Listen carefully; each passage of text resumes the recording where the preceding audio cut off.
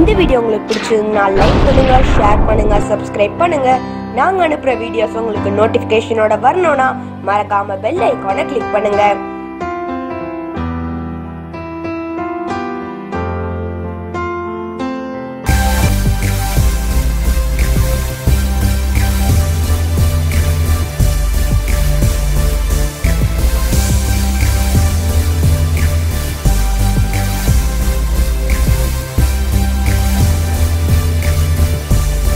இன்றைய புனிதர் அறிவோம்.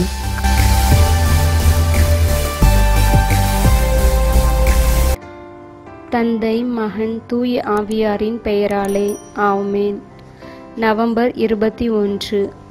புனித முதலாம் ஜெலாசியஸ். தீங்கு செய்வதில் குழந்தைகள் போலவும் சிந்திப்பதில் முதிர்ச்சி அடைந்தவர் போலவும் இருங்கள்.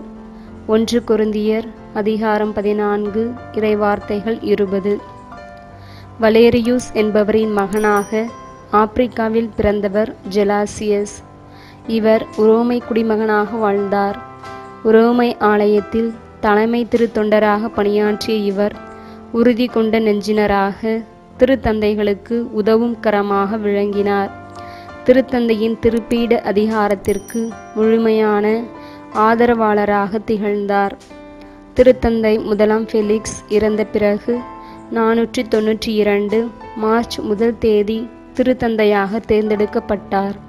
இவர் உலக அரசாட்சியின் இரு சக்திகள் என்ற கொள்கையினால் அறியப்படுகிறார்.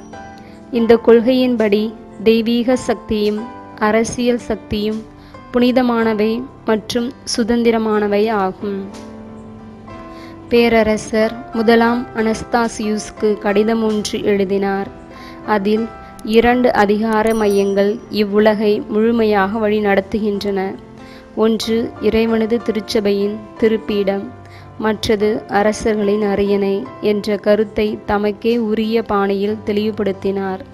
இதன் மூலம் அரசர்கள் சமய நிர்வாகத்தில் தலையிடக்கூடாது என்று சொல்லாமல் சொன்னார். மேலும் இரண்டு அதிகாரங்களுமே இறைவன் அளித்ததே என்றும் விரித்துரைத்தார்.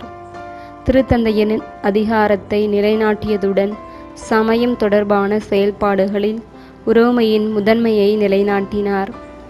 அறுதி தெய்வீக முரணியலை வலியுறுத்திய கீழ்த்திசை அக்சேஷியன் மத பிரிவை எதிர்த்து போராடினார். உரோமையில் எஞ்சியிருந்த ஒரு சிலை வழிபாட்டு கூறுகளையும் துடைத்தெறிந்து உரோமையை கிறிஸ்தவ பகுதியாக்கினார். பிற மதத்தினரின் லூப்பர்கேலியா என்னும் விழாவை மாற்றி தூய்மையாக்கும் விழாவாக அன்னை கன்னிமரியாவுக்கு அர்ப்பணித்தார். நற்கருணை மற்றும் இயேசுவின் திரு ரத்தம் இரண்டையும் சேர்த்து அருந்தும் பழக்கத்தை நடைமுறைப்படுத்தியவர் இவரே. மேலும் கிறிஸ்துவின் பிரதிநிதி எனப்படும் சொல் பதத்தை முதன் முதலில் அறிமுகம் செய்தவரும் திருத்தந்தை ஜெலாசியஸ் தான் இவர் நானூற்றி தொன்னூற்றி ஆறு நவம்பர் இருபத்தி ஒன்று அன்று இறைப்பதம் அடைந்தார். தன் அதிகார வரம்பு என்ன என்பதை அறிந்து அதற்குள்ளாக உண்மையுடன் செயல்படும் இடங்களில் சிக்கல்கள் முளைவிடுவதில்லை. Jesus I trust in you இஸ்வே நான் உன் மீது நம்பிக்கை வைக்கின்றேன். ஆமேன்.